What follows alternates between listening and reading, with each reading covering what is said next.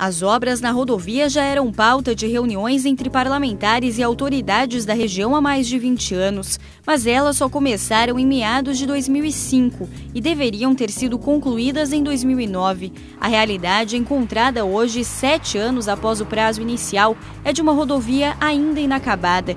E essa demora trouxe muitos prejuízos. Os motoristas sofreram na via com os longos congestionamentos e, ao longo de todos esses anos, houve muitos acidentes. Quando a duplicação ainda não estava concluída, os motoristas costumavam fazer o retorno na própria rodovia. Alguns condutores também realizavam ultrapassagens em trechos de pistas simples. E aí o risco de acidentes era muito maior.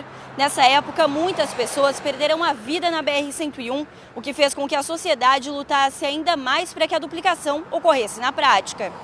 Essa é a história do Antônio. Ele perdeu a esposa em um acidente de carro em 1996 na BR-101, próxima a Jaguaruna. Foi aonde levou a gente a, a ter participação de todos os movimentos. Inclusive foi feito um movimento na entrada de Jaguaruna naquela época.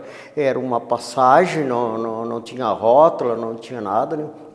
E aí uma pessoa ultrapassando, é um, um outro caminhão e ele me atingiu lá fora da, já da, da BR e a minha esposa morreu no acidente na hora. As mortes ao longo de todos esses anos na BR-101 geraram muitas manifestações, iniciativas que chamaram a atenção das autoridades e que ajudaram a acelerar a duplicação da rodovia.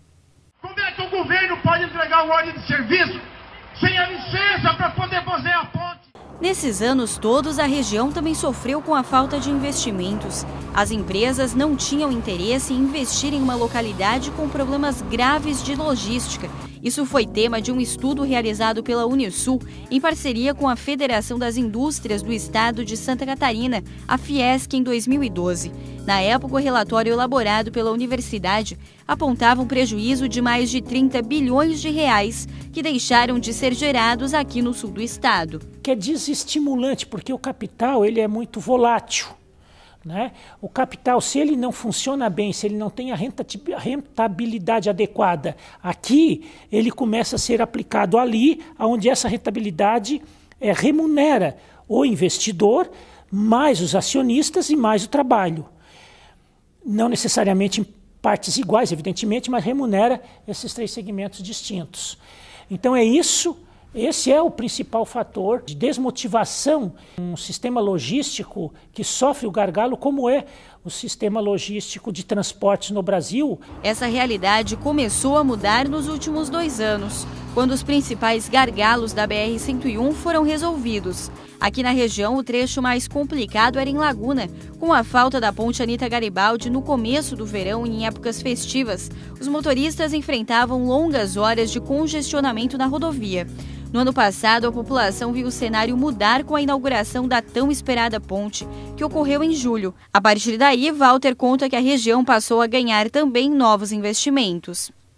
Na medida que eles foram liberados para o tráfego, nós conseguimos perceber uma aceleração mais rápida na, nos investimentos, na decisão de investimentos nessa região.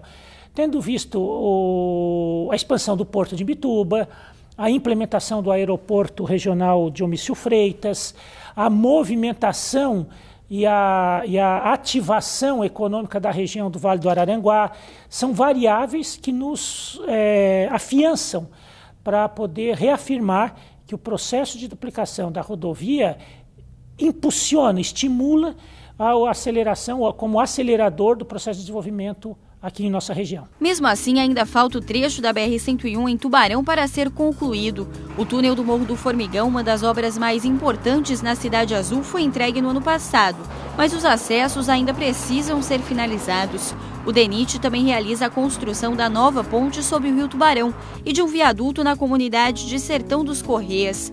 Último prazo dado pelo órgão para a inauguração da obra para agosto desse ano, e o desejo da população é que isso seja finalizado o mais rápido possível. Que, que procure é, a, a termi, terminar isso aí quanto mais rápido possível, porque isso aí está deixando muito a desejar o nosso povo tubaronense.